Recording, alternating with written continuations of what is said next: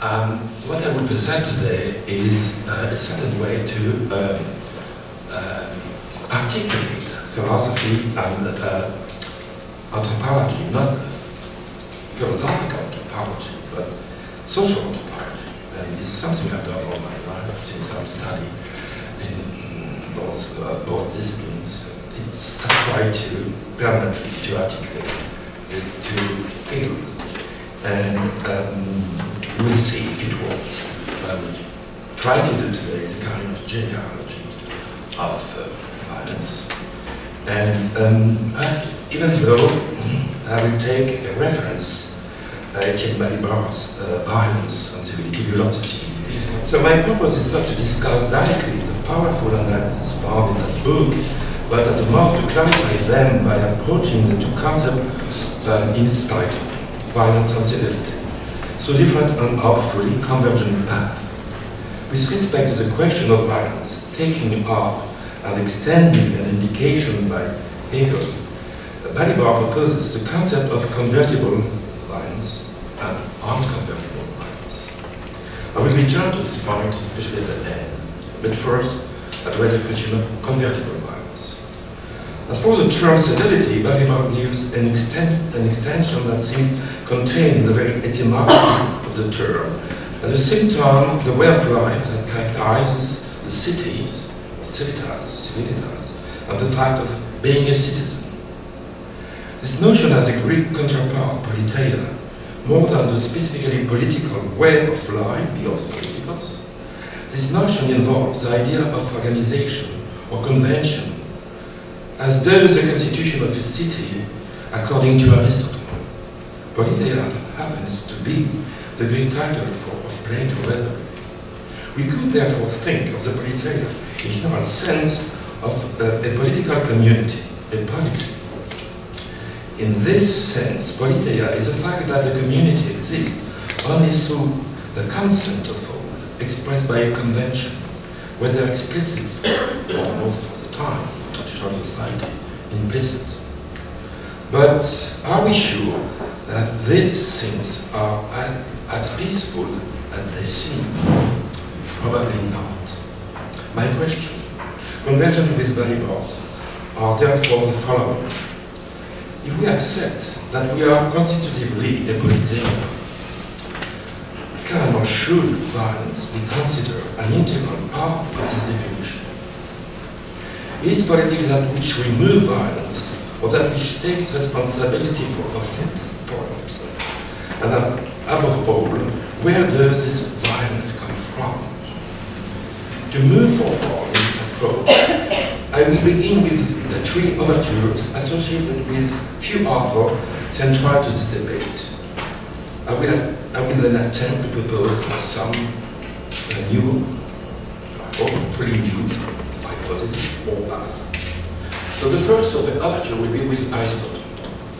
We had yesterday already uh, discussion that is uh, uh, I'm sorry,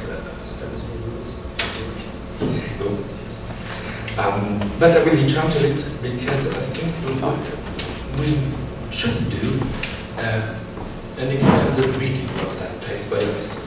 We know this text is the beginning of the politics, the political, where the um, man is defined as a political uh, animal. okay. should stay close all the time. Okay, not swallowing it. We must realize that from outset, that this means above all that human beings belong to a polis. That is a community ruled by laws. In the case in, in, in this is the case in Greece for Aristotle, but not among barbarians. Based on certainty, which is also an exclusion, Aristotle asks from what necessity does the very existence of the polis proceed? and we, we were reminded yesterday that uh, this natural, uh, this natural genesis is made through three steps, through natural steps: the, the family, uh, the villages, and the uh, city. Each of each of each has a specific telos, which is reproduction for the couple, for the family, solidarity for the village, and autarkeia, self-sufficiency for the city. And the city at the end is a is the true grounded being because he has this privilege of self-sufficiency.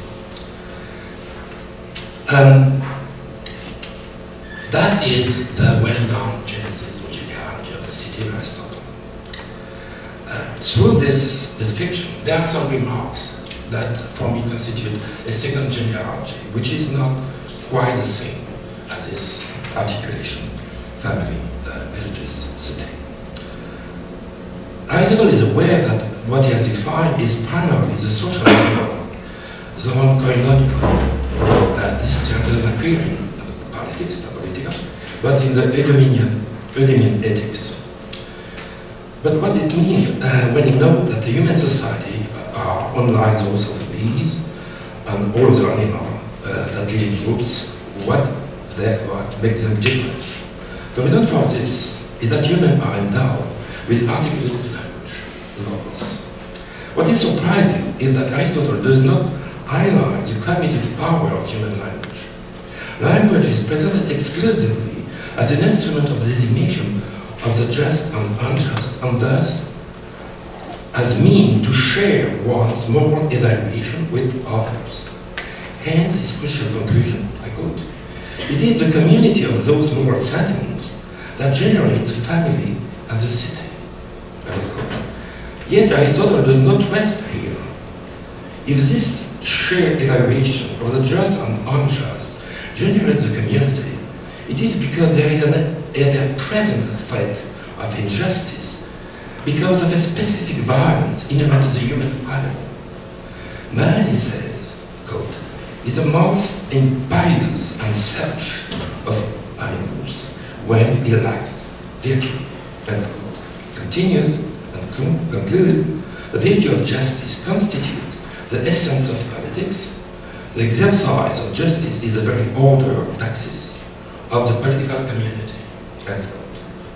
Whereas the, the first genealogy was functional, the second is normative and is generally neglected. The first is defined as a natural necessity to form a city. The second reveals the ethical requirement to do so. It is the more important because it involves justice, which is to say, the law.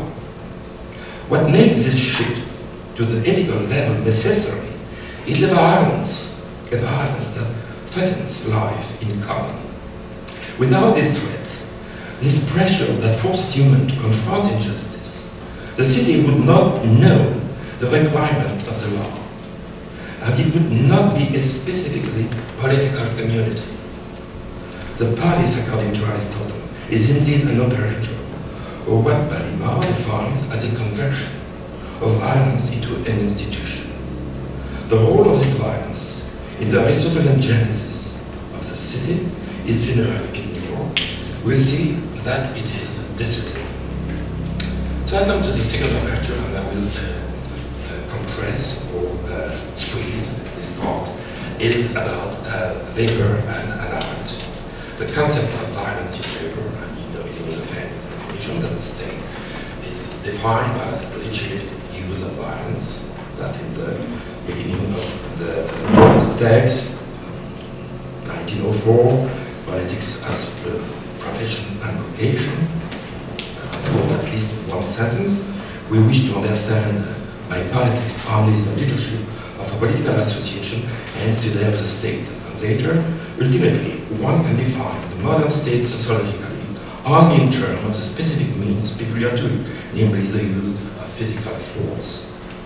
And regarding Arendt, you know, the, the of violence in the text from 1970, and I just limit my, my uh, reference to few quotation.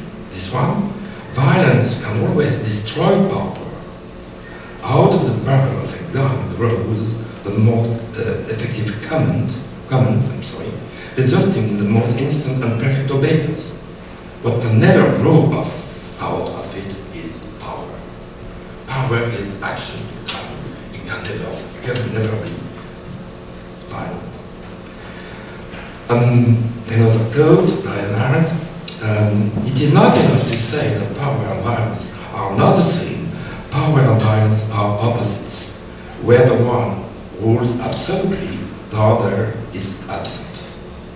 Power, um, violence appears where power is in jeopardy, but left to its rules, its end in the disappearance of power.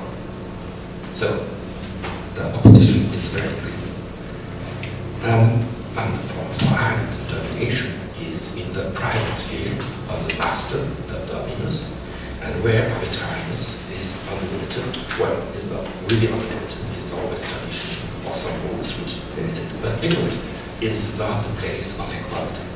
So I come now to the third overture with uh, Balibar commenting Hobbes and Hegel. Violence cannot just be observed as a fact, as does, or excluded from the definition as uh, uh, allowed to do. Violence must be confronted. This is what Balibar proposes to do in his cross-reading of Hobbes and Hegel.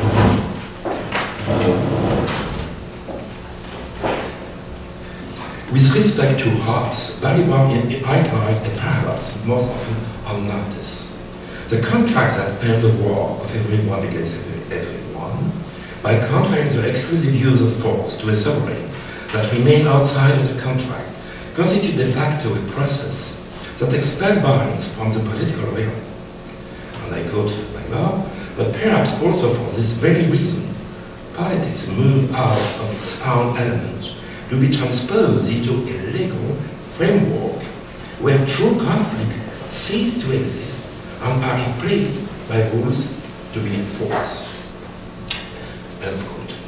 We could add, extending Balibar um, statement that is that it is as if the role of the sovereign was to focus on, hims on himself and manage the, the entirety of the violence expelled from the contracting community. He alone, the sovereign, he, she, remained in a state of nature. He filled the symbolic function of the carrier of evil in the place of other. Violence within the group is thus restricted to the interplay uh, of private passions. Violence that forces individuals to get along with each other no longer has a place in the public space.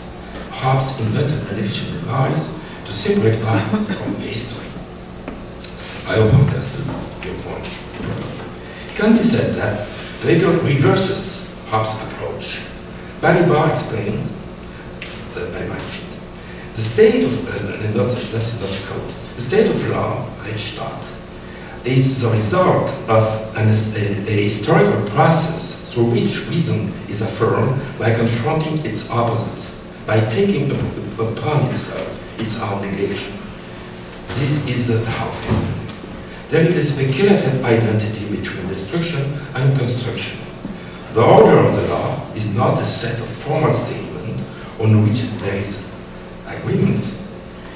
It is what emanates from the process itself and translates to rules and institution the content of, of experience, the content of the experience of the spirit of a people while taking responsibility for violence, that is, giving violent action, so uh, is its unexpected result, a function that before appeared to be unconceivable. This is the rules of reason in history. Balibar defines this process of conversion as follows, quote, a sublimation, a spiritualization, but above all, a transformation of violence into a historically productive force, an annihilation of violence as a force of this, as a force of destruction, and their recreation as energy of power of the institutions. End of quote. This means that history is made through politics, and that history is a locus, the stage of politics because it is a locus where violence is transformed into, into an institution, an institution endowed with force. So the notion of force still remains. And the question is, what means the force? Where did it come from? That's another, another issue. For Hegel, the completed form of the institution is a state. And this, it takes up and expands Aristotle's conviction that Paris is a terrace of life in society but not in a natural way. This is also why, for Hegel, the state cannot arise from a contract. The state is a completion of a process that is the becoming spirit of the community, and not an artifact, a legal body about which an agreement is made to conjure conflict. Is not this artifact that has conceived. The state is therefore the locus par excellence of convertible violence. By contrast, this raises a radical question of an inconvertible violence. To take up Balibar's term, violence, violence impervious to dialectic and that remain outside the scheme of institutions. So, now uh, Jean reached a, a turning point after these three overtures, and we'll try to propose a, another genealogy, the, uh, the Aristotelian one, the Hegelian one, or uh, what. Um, well, it's, it's no conflict with that. It's just, it's just um, let's say, um, what the social anthropology can bring uh, in this debate, uh, in this conversation. A question arises here. It is always the state as a form, as a form that is at stake in the answer given to the violence that confronts groups. It is the emergence of the state that is called open, open to overcome the conflict. The state is supposed to prevent their recurrence, or at least their degeneration we are thus to assume that before the advent of the state, the advent of the state, every society remained in a situation of latent violence and could not exist as a truly political community or stateless society devoid of a politeia. At this point, philosophy is short in, most, in resources. It must call on specialized knowledge, above all, the knowledge of social anthropology, with a simple question, what is the status of stateless society? We must resume our inquiry based on new foundation. So now I will uh, come to a question which is, uh, Aristotle has spoken of the family as the first natural uh, form of uh, society, and which is sufficient, but it is the first form. And uh, I think that Aristotle has already accepted a, a, a modern conception of the nuclear family as a natural base for society, and which is highly debatable, especially for traditional society. So I will come to the question of exogamic alliance as, as the genesis of the true institutional order. And um, this is a few things that probably you know if you have read anthropological stuff or the, the, the discourse the test of, of kinship. Um, no one today can seriously claim that truly political society begin only with the emergence of the state that would amount to claiming the society without a central authority, such as hunter-gatherer society, are by definition non-political societies, lawless and thus undermined by endemic violence. I believe that we must completely reject such claims and assert that from the outset, every human society emerges as a political society, which is to say, a public order ruled by laws whether explicit or implicit, beginning with the acts that constitute them as human societies, the exogamic alliance. Both of the two rules are important. The most universal of the rules that mark the specificity of human society is the obligation of, for couples to form outside of each partner consanguineous groups, parents and children, brother and sister or similar. This is the rule of exogamy, meaning marriage outside the group, observed in a very traditional society. It is also, it has also another name, the prohibition of incest. I know this debate is much more complicated, but that summarizes uh, to come to the, to the point. According to Aristotle's demonstration, now fully accepted, I mean, I'm not speaking of some more specific point, this prohibition is not based on morals or even biology, although this factor may have played a part later, especially now. It mandates at the same time alliance with another group and reciprocity, since for any wife given, a wife must be given in return. It is a rule of alliance in the sense that the consanguineous groups renounce close group upon itself and accept that within the group a production of life must occur through the different groups. A human society is possible only as a union between us and them, the same and the other. To enter an alliance is to bring together the familiarity of our own with the strangeness of them. So the stranger is there from the beginning.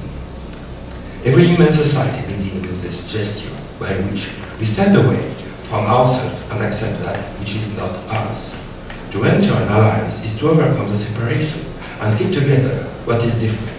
Human society can exist only through this condition of otherness. And this condition goes immediately, not just by reciprocity in dual relation, by implying a third party, le tiers, the law, the rules, and immediately is not natural. And immediately is institutional. It makes the core of a polity.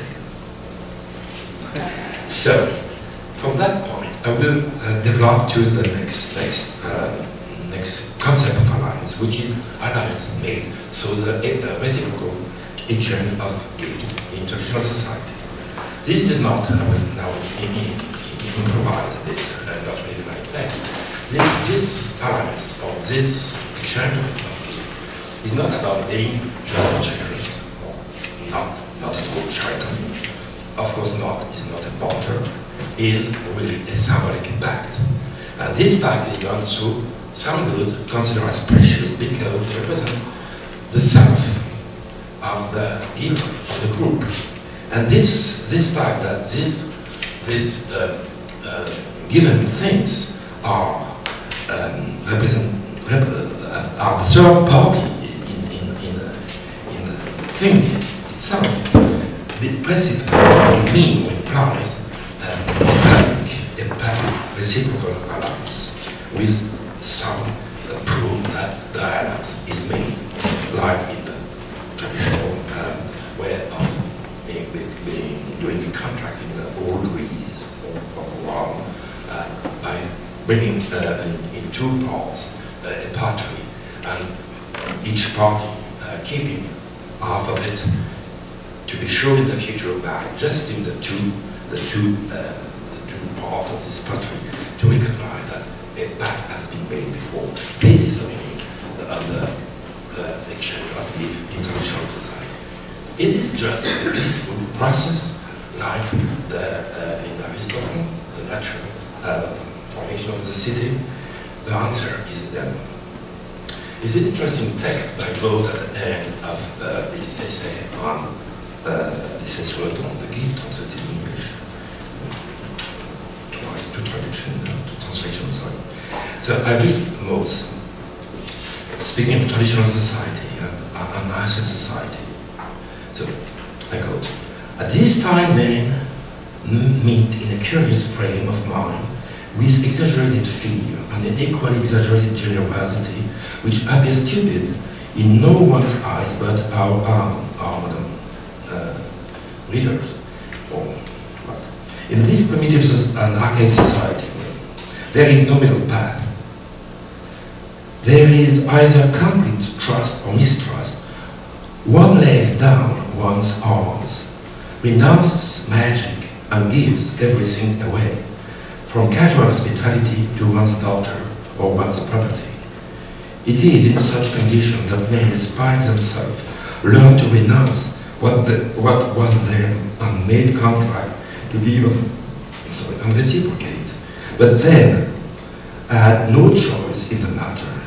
When two groups of men meet, they may have moved away, or in case of mistrust or defiance, they may resort to arms, or else they can come to negotiations. So this is the story of the uh, exchange. These lines clearly raise uh, from the outset the problem of violence as an initial situation that imposes this alternative between armed conflict and an alliance through gift exchange. We must take care to not misinterpret it. It's not just generosity and goodwilling. First, it's important that each will provide a grant and that the, the, the sense of the substitute and token of oneself, which is the good thing. So this is exactly a process of public recognition between the two groups. It is not just um, civilities, goodwill, is public recognition, public, public acceptance, and this public recognition, where the uh, alliance plays main roles, is really the purpose of Politeia. So, is therefore a pact that generates the consent of the group involved. And that is why I call it a political pact. So the conflict is over there, is over the horizon of this public recognition, of this public procedure. We now better understand the concept of political sphere. It's a sphere where the members of the community grant one another public and reciprocal recognition. In society where a state as has emerged, and we must understand that is, is really crucial.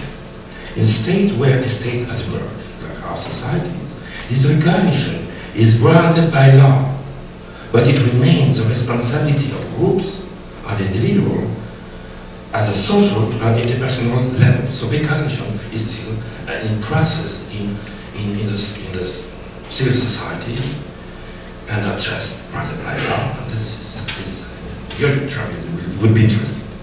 So, to, to just mention uh, the, the, big difference is struggle for recognition with dual kind of Caucasian interpretation. And the big difference is the Hegelian figure of, of the conflict of the uh, master-servant uh, dialectic is they are in, the, hand, they are nothing, or just arms. And the difference with the reciprocal, I know, you kill me. So, So uh, that's the, the, the, interesting and fundamental point. So now from this uh, situation of reciprocity, what is interesting is the possibility for the troops in a stateless society to, uh, to, to, to be in conflict through an offense which must be uh, vindicated. And that is also interesting to understand that the concept of, of justice is not the, the way to do justice is not what we call vengeance, is vindicatory justice, which means this process of vindication is, is precise, has a limit, a certain procedure, I can be conclusive. When this doesn't work anymore, then we have the modern vengeance. It's exactly the case of we see in Aeschylus uh, and where, where uh, the vengeance is unlimited, like I mentioned, because the traditional way of medical justice is not working. And we have the same problem with Antigone. It's not a conflict of the family and the state. It's, it's tragic because it's a conflict between two public space. The public space of, of kinship and the public space of uh, the new city. So, having said that, um, I will come to uh, the last moment. So, a second turning point before the conclusion is this. Um, we have, have, tried to do a kind of genealogy, so uh, with a, contribution of social anthropology, of the public space, of the politeia, of the justice, and now, uh, well, we have a last question, which is, well, but where the violence come from anyway? And that is the big, the big uh, issue. I don't think that philosophy by itself, and even anthropology, can give us an interesting answer. We have to um, turn ourselves to our uh, ethology and um, to, to, to, inter to, to question our phylogenetic uh, heritage. We must go back to that research and understand uh, what is the origin of this violence. Um, the best, uh, even this uh, highly debatable, the best answer I found is in Konrad Lorenz's uh, aggression, and where Lorenz explained that um, all species, of course we know that, and this is pure Darwinian uh, um, repetition, that all species are fighting, and this is not moral or immoral, it's just the way of life. But in the case of human society, something has happened which is absolutely uh, not uh, the case of other species is that um, this violence, which or this capacity of uh, fighting, in the case of human society, has lost its goals and um, redirect itself toward other human groups or e even toward the group itself. And so this is the, aggressive potential is still there with new, new arms, new weapons linked to the uh, technical uh, change. And this creates a totally different situation that uh, we don't cannot observe in other animal society. So the question raised by, by Lorenz is this. Should we wish for a deactivation of aggressiveness itself? The cost will be huge, he says, because this aggressiveness is also part of our personal relation, is no love or friendship with this aggression. But is that the word which is really the, the appropriate word? Isn't, isn't it this force of energy that we find in all form of life? So having said that, and I regret have to, to squeeze my, my, uh, my development on Lorenz, but I'm not satisfied, and probably you are not satisfied with Lorenz's demonstration. Um, and, and I will conclude with these two remarks. They will take two minutes. First, we must accept that violence originates from the phenomenon of life itself and from the relationship among species. From this perspective, philosophers and social scientists have much to learn from ethologists. But the converse is also true. Lorenz moved almost naively from the aggressiveness observed in human to the moral prohibition that restricted, that it though it remained prisoner of, of a view of human beings as individuals and it understands groups as mere aggregates. It does not, it does not realize that, that humans are intrinsically symbolic animals. Their collective existence is from the outside an institutional existence governed by rituals, prohibition, obligation, reciprocal commitment, and relationship of recognition which convert the violence of the species into an, an order of rules and civilities. These are the fundamental procedures of ceremonial gift exchange and exogamic alliance, which form the core of the politeia. The same can be said of the empty center of the Greek, uh, the Greek polis, the famous circle of the warrior, which bring equality to the polis, and more generally, of legal system of public recognition, which is to, to say, of the various types of public institution today. Second, these institutions are not only converter of violence, and this is where I uh, join the Etienne approach.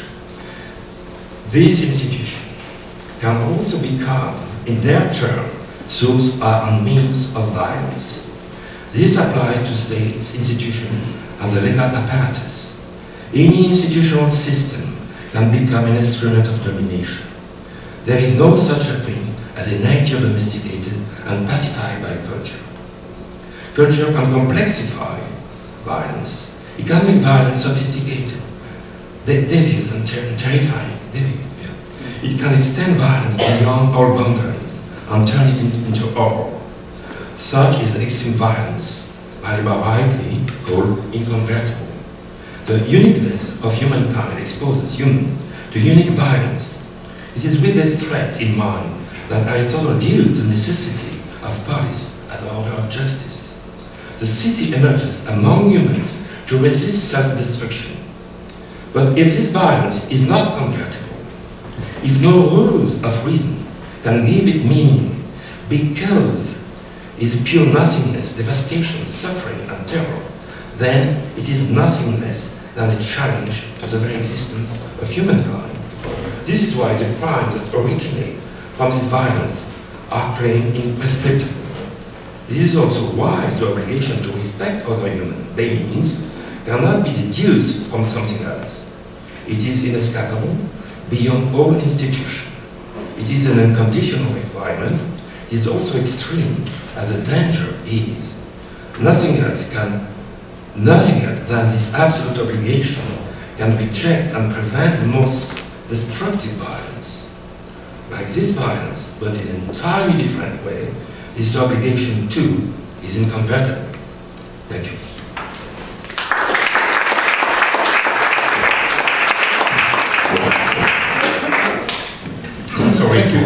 Much.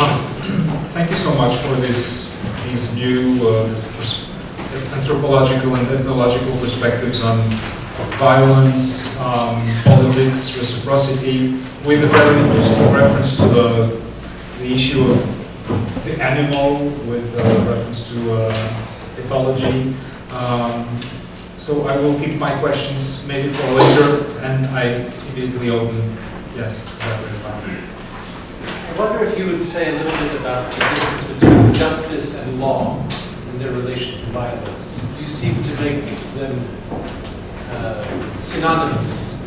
Uh, justice with law. It seems to me that, at least towards the conclusion of your talk, one could one could make a strong distinction between how justice serves uh, to uh, conceptualize violence respond to violence and how law does. Well, justice is a process. Um, in Aristotle term, justice is a virtue. And um, what we call justice, most of the time, when we speak of, we speak of uh, institution of justice, or the justice function, things like that.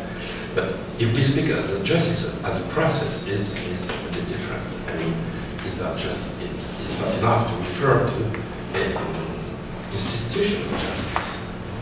So it's um, I'm not sure that you have in mind when you ask your question. Laws are this institution.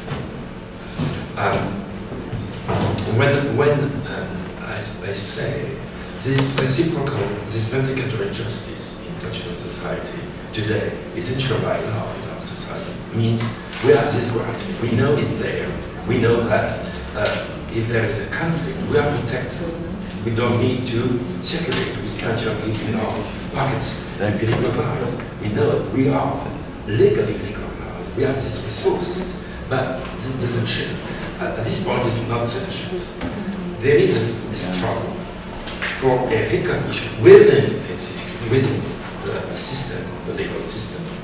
That is legality. And, but it's not enough because we have also, we need also, and this is a new debate about recognition, we are not satisfied with just having a legal protection or legal status, but we need to fight for it. We need to, to, to transform this legality into a social practice And that is is a permanent uh, situation in which we are. So I'm is, is this your point? I'm not sure. No, I was asking about um, the way in which justice, uh, the way in which the, the, notion of justice figures in, in Derrida, for example, as the undeconstructible, and the way law is quite different from that. And I was wondering if that's that's where you were going in some way. Okay. I suppose not. That, that's maybe the last line of my, my talk. Uh, is um, the same way that there is crimes considered prescriptive. There are obligations which are also mandatory. The, and that is, I think that the Derrida in mind, are also letting us in, uh, and also environment in, uh, in the uh, violence and civility is something which is beyond all institution. And, and if there is an unconvertible it must be also uh, a prescription which has no condition. And that could be, I think, the, the interesting point in uh, what's it's be, beyond or under the, the second genesis I propose to read in Aristotle text, if um, violence is at the horizon of all this process of becoming a city, of having this being together, making this being together possible. And is is a permanent, this permanent threat of a violence which which is there, whatever whatever we do, whatever the institution uh, of uh, peaceful execution are, and that's also the original solution, is someone has to integrate in his or figure this violence which should be expelled from the society. So, um, well, there is a kind, um, is there is a kind of radicality of violence which also uh, necessitate the radicality of the answer to it.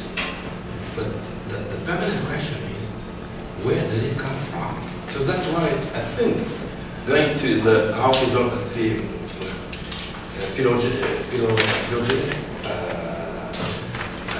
heritage is necessary, is something which is part of human evolution, but not only. Precisely, uh, in the case of human beings, uh, we have invented in some ways the violence which elapses an extreme violence, as Balibar says, which is not in uh, animal society. And we learn a lot to confront this stereotype of violence. So I hope we can discuss it if I have not really understood your point.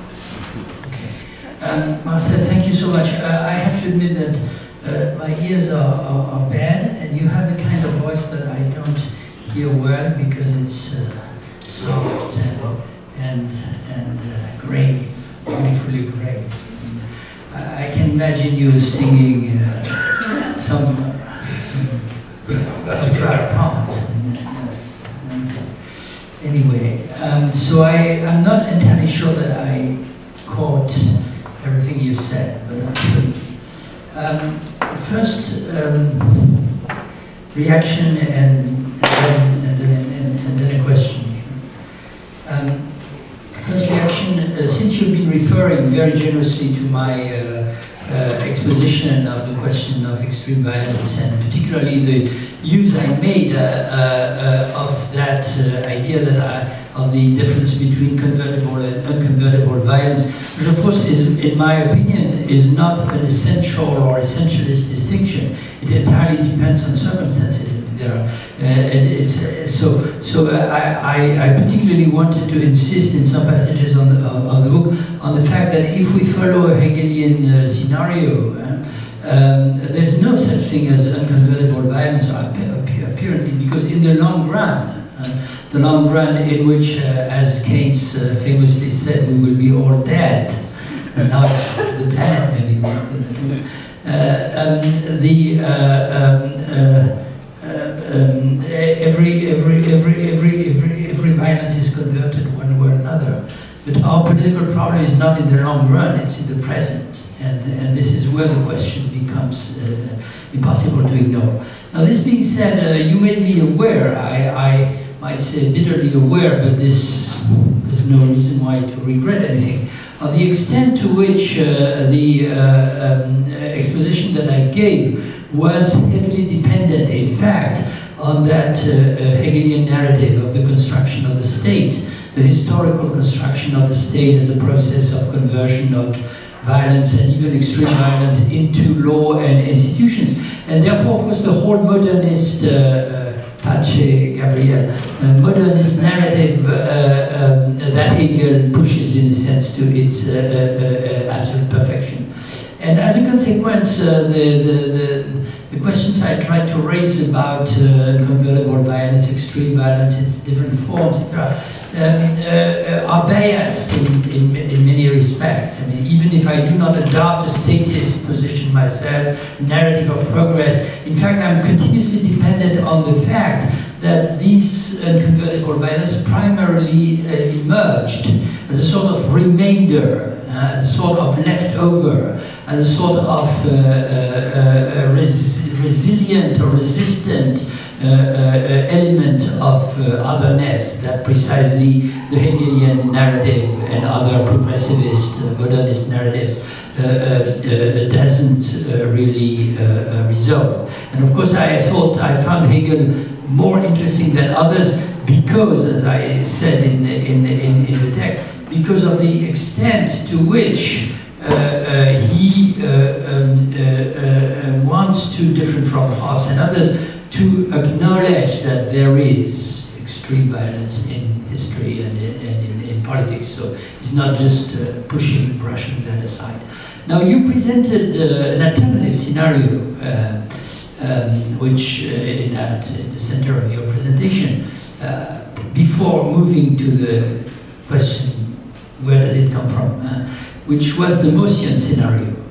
and so not making things too complicated. Do I understand you well? If um, I push the uh, uh, Maussian scenario to the, uh, um, the following uh, scheme, um, the moment in which the two groups, we might want to ask, of course, where these groups come from the anthropologists have had their own narrative they constructed. where these groups come from. Uh, we also might want to, of course, uh, uh, uh ask uh, um, to which extent this could be and should be transferred or applied or used to discuss issues which uh, do not only concern so-called uh, primitive societies uh, or stateless societies, but also situations or, or, or, or, moments, I mean, of crisis, for example, in other societies with a state, but not a state that has a monopoly, a state that is, in fact, one uh, agent or participant in the, in the, in the, in the, the conflict. So that's generally the situation of the stasis uh, that uh, Nicolo also beautifully uh, uh, brought to, to, to the center. Anyway, at this moment, the two groups are confronted with a kind of radical alternative, um, a moment of choice, but a choice that perhaps is, in a sense, I would borrow a Derridian uh, uh, phrase, not only indeterminate, but uh, undecidable. And nevertheless, you need to decide. Uh, and there you choose uh, either uh, exchange, a gift, or you choose the other gift in the Derridian sense, that is the poison of um, um, un, uncontrollable and and, and, and convertible violence. Uh, so it's uh, in this second scenario, uh, un, unconvertible violence is not a residue, it's not a leftover. It's not something that has been suppressed somehow uh, by the institutions and that would return in an uh, embarrassing manner into a, it is something that would permanently uh, uh form the other possibility. Yeah? And therefore, the, the, the, the, scenario that you want to apply is, is one in which perhaps not all the time and everywhere, but everywhere, but periodically, uh, and in fact, regularly, we as societies or as divided societies, uh, which is what we are, uh, are in fact uh, facing that kind of uh, uh, uh, uh dilemma. did I did I pick up something of your idea, or is it? an artificial graft on your... On your no, it's, it's, you're right in the center of the issue for me. It's, but it's also because um, the question of conflict can never, is not, is not such a thing as a peaceful society per se. It's always, is always a, a, possibility of conflict in the Mauss peaceful one. And um, in that sense, um, yeah, um, the mo to, to me, most is, is not, is just um, a frame. But it's the end of the essay sur le don is too moralist. Moralist. Moralist. To what's uh, understanding the this this ceremonial exchange as a kind of benevolence and solidarity. It is not a, the problem is to make a public pact, and the, the, the exogamic alliance, which is almost in Europe all the time, is a central, uh, central uh, element of this uh, uh, public recognition among groups. Um, yeah, um, anthropo anthropologists have their narrative, their, their mythology as well, I agree with that. And there are many, many uh, uh, stories or examples which make this, this uh, ideal type of uh, proposition uh, a bit limited. So it's just for this short presentation I've compacted the, the issue, but I agree with you that. It has to be problematized more specifically within the uh, approach of traditional societies. And in which way we have changed today. And if there is a social total fact, it must not have disappeared. So what is, what is this type of fact today, or in which way has been transformed? So that what is interesting for anthropologists uh, dealing with is the same, with the question of family and kinship. We are, there was a presentation by this morning, uh, this extraordinary transformation which are now uh, in progress. Unfortunately, we never have enough time for the debate, but the debate continues afterwards.